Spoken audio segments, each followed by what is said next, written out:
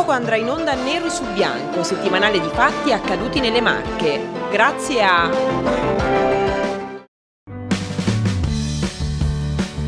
L'acquisto di un'auto va valutato attentamente. Importanti sono i servizi offerti prima e dopo l'acquisto. Fondamentale è affidarsi ad una struttura seria e competente. Concessionaria Frulla, da più di 40 anni nel settore dell'automotive. Storicamente con Fiat, ora anche con Lancia e Abarth. Nei suoi saloni di Senigallia in via Botticelli e di Iesi in viale della Vittoria, Frulla garantisce la più completa affidabilità a beneficio di ogni automobilista. Frulla vi propone un'ampia serie di servizi, autovetture e veicoli commerciali, nuovo e usato, anche aziendali e chilometri zero. A completare il tutto la possibilità di finanziamenti personalizzati, assicurazione furto e incendio, estensione della garanzia. Frulla cura poi al meglio tutto l'aspetto post vendita, affidato a personale altamente specializzato, sempre aggiornato attraverso frequenti corsi professionali. Tutti i lavori di officina, ora anche preparatori Abarth. Cambio gomme, carrozzeria e linea revisioni per veicoli fino a 35 quintali. Con un parco mezzi adatto ad ogni situazione, Frulla è inoltre soccorso stradale leggero e pesante, con il servizio di depositeria giudiziaria. In caso di necessità il numero 335 7767 224 è attivo 24 ore su 24. Una passione di famiglia da più di 40 anni. A Giordano e Clara Frulla oggi si affiancano i figli Marta, responsabile commerciale, Marco, responsabile soccorso stradale e amministrativo e Mauro, responsabile assistenza post vendita, insieme a tanti altri professionisti nei rispettivi settori. Una continuità che è ulteriore garanzia. Frulla, a Senigallia in via Botticelli 43 e a Iesi in viale della Vittoria 3. Concessionaria Fiat, Lancia, Abarth e Fiat Professional. Dal 1971. Passione in movimento.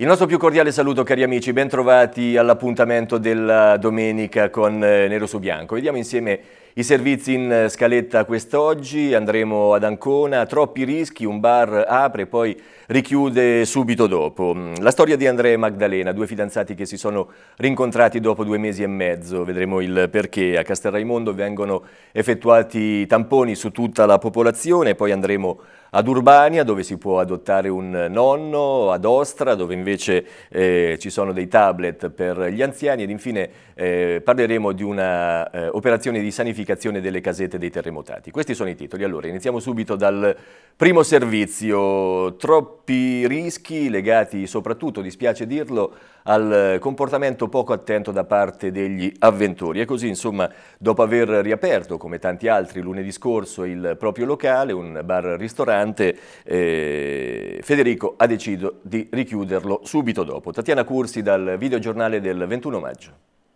Non siamo noi che possiamo garantire la pubblica sicurezza, la pubblica sicurezza va garantita dallo Stato, dalle istituzioni, dalla polizia, dalla polizia comunale, eh, e soprattutto dalle responsabilità individuali di ognuno.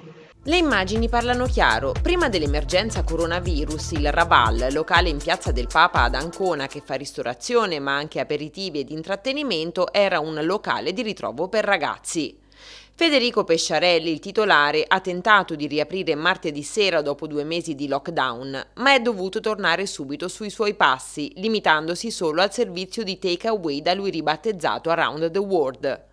Non ci sono infatti le condizioni di sicurezza. Moltissimi clienti, moltissimi avventori sono rispettosi delle regole e capiscono l'importanza di di rispettarle. Altri, eh, probabilmente dopo un mese di lockdown e quindi di solitudine, nel ritornare in uno, in uno dei luoghi che eh, per fortuna è eh, un luogo d'eccellenza, per eccellenza da Ancona dell'aggregazione, uno dei luoghi principali di aggregazione giovanile, hanno frainteso, si sono comportati in maniera non proprio adeguata Il locale ora può fare 60 coperti e gestire due persone che acquistano la consumazione al bancone per poi consumarla fuori, circa il 60-70% in meno del volume di lavoro che gestiva prima.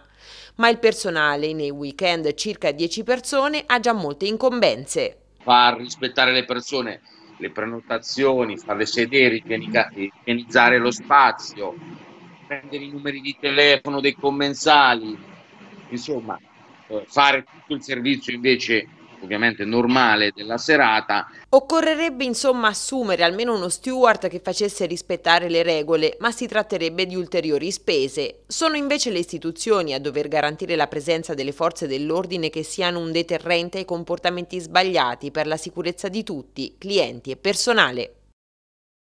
E adesso una storia bella, come forse ce ne sono anche tante altre, la storia di Andrea e Magdalena, sono fidanzati, sono residenti uno nelle Marche l'altro nell'Umbria, non si vedevano da eh, due mesi e mezzo, un eh, sottile confine che li ha tenuti distanti e invece si sono rivisti poi nei giorni scorsi, vediamo com'è andata nel servizio di Marta Vescovi dal videogiornale del 19 maggio. Due anni insieme, tanti progetti e la passione condivisa per i viaggi, a dividerli meno di 55 chilometri, tanti quelli che bisogna percorrere per spostarsi tra Gualdo Tadino in Umbria, dove vive lei, e Moglie di Maiolati nelle Marche, dove abita lui. Poco più di mezz'ora d'auto, poi l'emergenza sanitaria che ha bloccato tutto e due mesi e mezzo senza vedersi. Per Andrea, 27 anni, e Magdalena, 21, una eternità riempita di telefonate e videochiamate. Poi l'allentamento delle restrizioni e nelle scorse ore la possibilità di incontrarsi a metà strada proprio al confine tra Marche ed Umbria. È venuta l'idea a me di provare a trovare il punto preciso del confine, quindi mi sono messo un po' alla ricerca fino a quando non ho trovato la, il cartello e da lì ho mandato la posizione a lei che mi ha raggiunto che siamo stati lì una mezz'oretta eh, tenendo le dovute distanze comunque sia e niente, ci siamo rivisti dopo circa due mesi e mezzo. Qual è stata la prima cosa che gli hai detto quando l'hai visto? Eh, mi sei mancato, è normale. Ma nemmeno un abbraccio c'è stato? Eh no, purtroppo no, abbiamo deciso di comunque sia mantenere sempre le dovute distanze, quindi siamo stati a circa un metro l'uno dall'altro. La felicità di rivedersi, di parlarsi, nonostante la necessità di trattenere la voglia di abbracciarsi, nel rispetto delle norme anti-Covid. Poi il ritorno, ognuno a casa propria, ma con tanti progetti per quando finalmente anche il divieto di superare la linea del confine regionale cadrà. Prima che ci fosse il coronavirus, il nostro progetto per quest'estate e autunno era di andare in Kenya, però adesso diciamo che si è tutto bloccato, vediamo con l'evolversi del virus dove potremmo andare. Nel progetto futuro c'è di avvicinarci, eh, comunque sia di andare a vivere insieme un giorno. Intanto ad aiutarli ci sono i social, anche se certo non è come guardarsi negli occhi. Eh, speriamo che questo virus eh, finisca il prima possibile in modo tale che ci potremmo riabbracciare presto. Tante cose vorrei dire, innanzitutto vorrei tanto abbracciarlo e vorrei tanto che fosse qui vicino a me. Cambiamo decisamente scenario per andare a Castelraimondo dove è partito un eh, monitoraggio su tutta la popolazione, non con eh, i test bensì proprio con i tamponi. Lo ricordiamo che Castelraimondo è stato pesantemente colpito soprattutto nella sua casa di riposo dove si sono registrate diverse vittime. Stefano Brecciaroli dal videogiornale del 21 maggio. Sicuramente sono essenziali per, per capire questo Covid se, se, gira nel nostro paese o meno e quanti casi abbiamo. Di sicuro bisogna essere consapevoli che dobbiamo convivere con questo virus e quindi è giusto sapere se uno l'ha contratto o meno. La piena collaborazione dei cittadini di Castelrimondo per un monitoraggio del coronavirus attraverso test diagnostici e tamponi.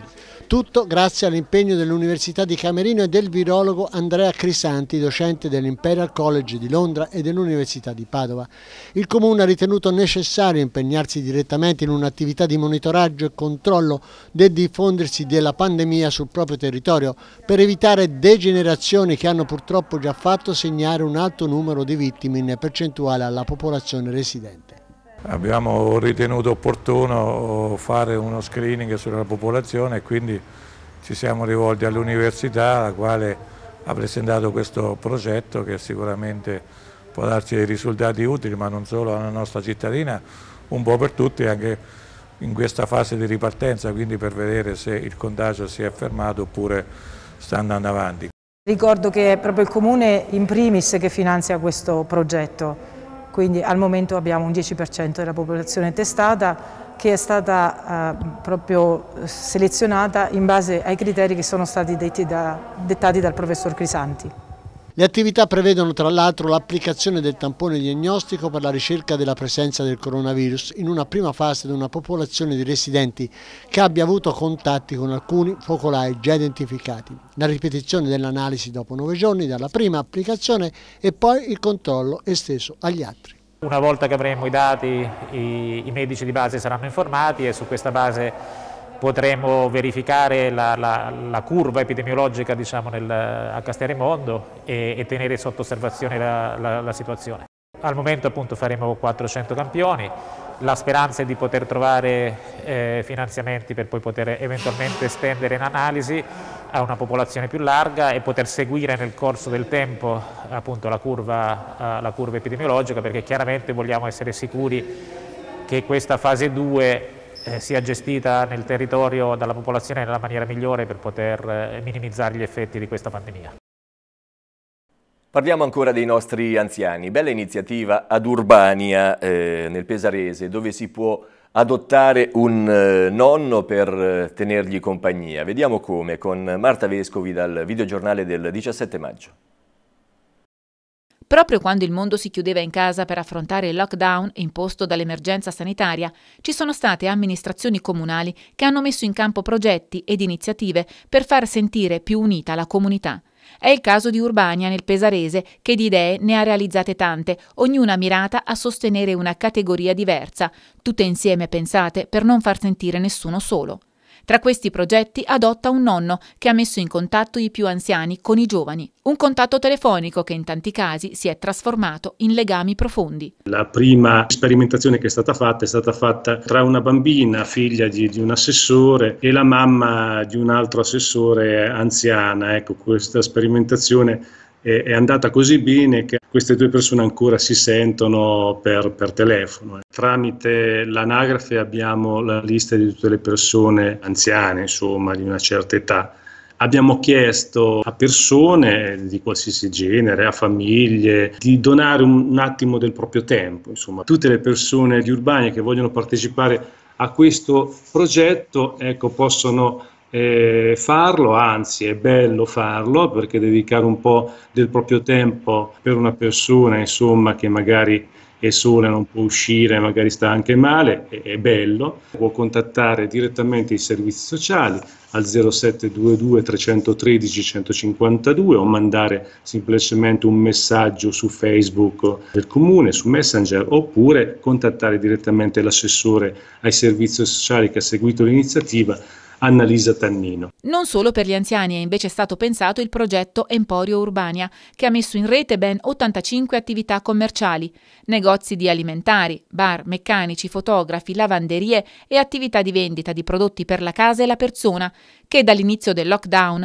hanno portato a domicilio prodotti e servizi, dall'aperitivo all'abito lavato e stirato. Le attività eh, sono state aiutate a fare una propria pagina Facebook per far vedere i propri i prodotti e le proprie attività. È stato fatto un volantino ed è stato portato in tutte le case con la lista di tutte queste attività. Oggi è ancora valido questo progetto per, perché ci sono tante persone che non possono eh, ed è bene che ancora stiano a casa che hanno patologie o comunque sono anziane. Questo è un servizio molto bello, la disponibilità di queste attività commerciali e la città che contraccambia perché sostiene le nostre attività commerciali. E poi attivamente il primo progetto dell'amministrazione di Urbania, per cui grazie a Facebook ogni giorno tutta la comunità è stata coinvolta in un ricco calendario di eventi in diretta, dalla messa alla lezione di ginnastica fino alla sessione di cucina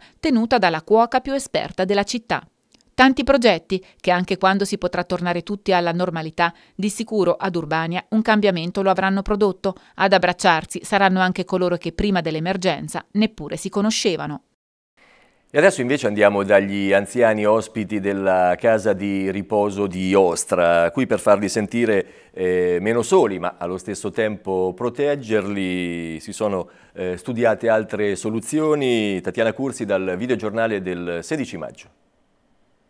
La donazione di un tablet per permettere contatti virtuali tra gli anziani ospiti e le loro famiglie. Anche così la casa di riposo e residenza protetta Fondazione Moroni Antonini Morganti di Ostra nell'Anconetano è riuscita a non avere casi di coronavirus nella sua struttura. Il dispositivo è arrivato grazie ai soldi raccolti con l'asta Cena con i nostri campioni, l'asta virtuale organizzata da un giovane, Alessandro Animali, che ha ricevuto circa 100 pezzi appartenenti a campioni dello sport, come Vincenzo Nibali o Dorotea Vierer, e con i quali ha raccolto oltre 8.000 euro. La casa di riposo è una struttura complessa con 90 ospiti, in parte autosufficienti, in parte parzialmente o totalmente non autosufficienti, e circa 60 unità di personale. A febbraio gli ingressi si erano già ridotti ad un familiare ad ospite solo in camera e per un tempo limitato. Dal 9 marzo poi la chiusura totale. Altra scelta difficile è quella di non allentare troppo le maglie da lunedì. Ancora difficile accogliere nuovi ospiti, forse i familiari potranno riprendere qualche visita con dispositivi di protezione, ma gli autosufficienti probabilmente non potranno ancora uscire per passeggiate, recarsi in negozi o dalle loro famiglie. Il tablet ci è particolarmente utile perché la comunicazione con le famiglie è sicuramente stata uno dei problemi più grandi da affrontare, più grandi, insomma, dei problemi da affrontare in questo momento.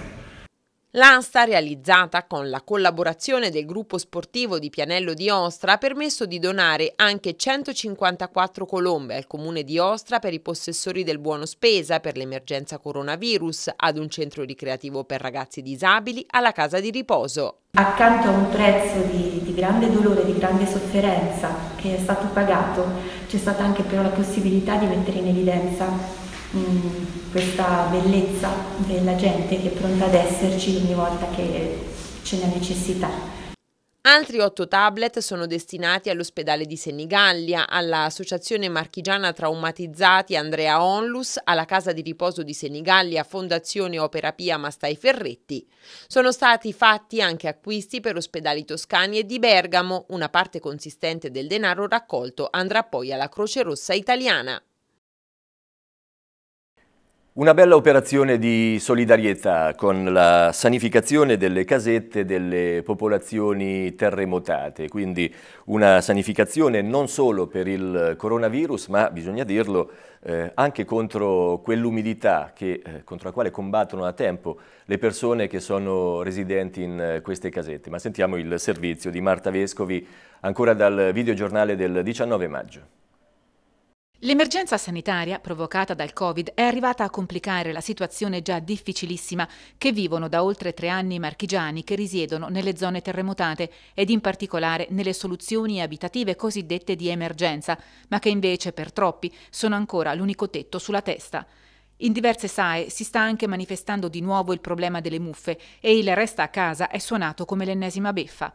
A dare una mano come sempre, fin dalle prime scosse, le associazioni di cittadini come la Terra Trema Noi No di Camerino, che ha coinvolto la cooperativa di comunità Camon per offrire gratuitamente un trattamento di disinfezione a chi vive nelle SAE dell'entroterra maceratese. Abbiamo questa problematica dei, delle muffe nei pavimenti che già sono stati sostituiti l'anno scorso, abbiamo le, rifatto le analisi delle, dell'aria nelle muffe, già davano primi problemi, ora ne abbiamo rifatte altre altre stiamo attendendo risultati. Quindi diciamo, ecco, l'aria che si respira già non era di buona per sé, quindi per di più con questa problematica del Covid, diciamo, facciamo un doppio servizio. Un piccolo investimento che ha fatto la cooperativa di comunità di Camerino, che si chiama la Camon.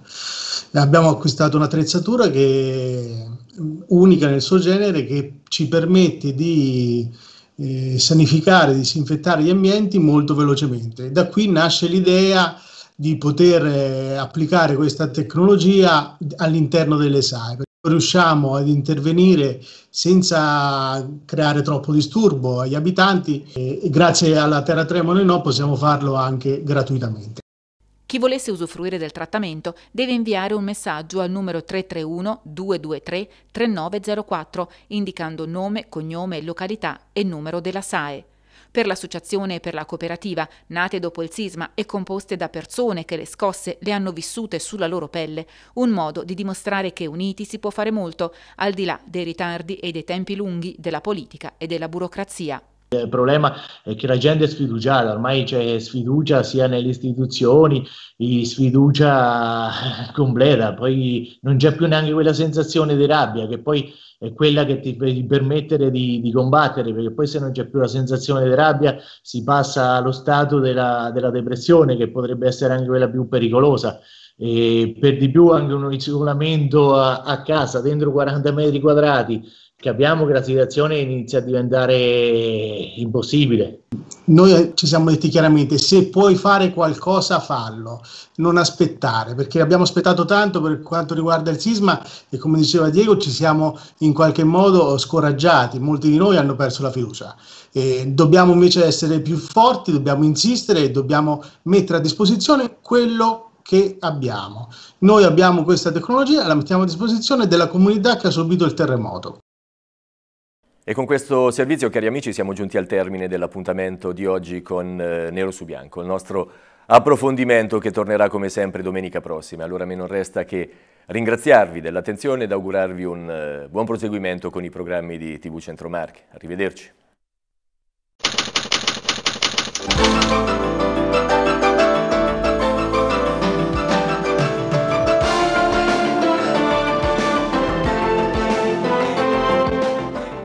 Nero su bianco, in collaborazione con...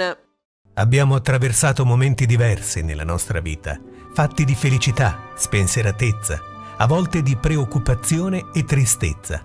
Abbiamo vissuto cambiamenti epocali che hanno modificato le nostre abitudini, delle nostre famiglie e della società. Abbiamo adottato una scala di valori dove la competizione e il profitto occupano un posto importante. Abbiamo affrontato i problemi quotidiani senza quella giusta dose di coscienza civica, alcune volte in preda ad un fatalismo e ad una rassegnazione innaturale. Ora però all'improvviso un nemico sconosciuto ha fatto vacillare tutte le nostre certezze e la nostra quotidianità. Con il riavvio del sistema dovremo comprendere inevitabilmente che gli esseri umani hanno bisogno di correre insieme, senza divisioni, senza colori, né egoismi, consapevoli che la vera forza proviene dal rispetto delle regole, dalla conoscenza, dalla solidarietà, dalla cooperazione e dallo stare uniti quando si presentano difficoltà. Noi del CAF Tutela Fiscale, aderendo da sempre e con immenso orgoglio a questi principi, poniamo al primo posto gli interessi, le necessità e, come è scritto nel nostro nome, la tutela di migliaia di sedi sul territorio, di centinaia di dipendenti e collaboratori altamente specializzati e di un immenso numero di soggetti assistiti, lavoratori, pensionati, nuclei familiari e disoccupati. Grazie a tutti voi per aver scelto il CAF Tutela Fiscale e grazie anche agli operatori che lavorano quotidianamente in prima linea. A loro va il plauso più grande.